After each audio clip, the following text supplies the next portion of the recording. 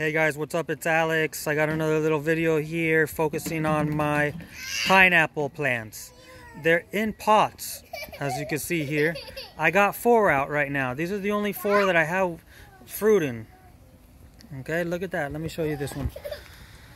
It's beautiful. So I got these from a supermarket. They gave them to me from the produce area.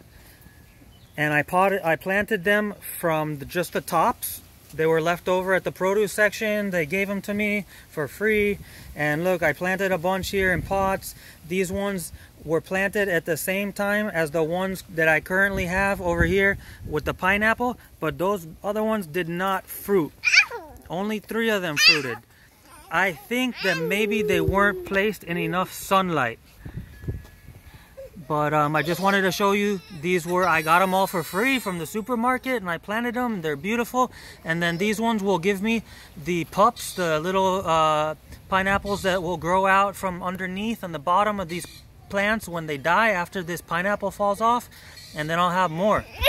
All right, guys. Hope you enjoyed. Take care.